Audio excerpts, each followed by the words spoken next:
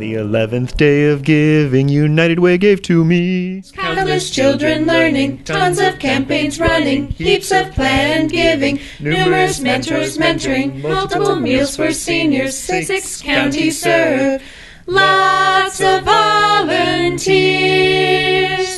Many homeless sheltered, stacks of books for newborns, hordes of 211 calls, and service in our community.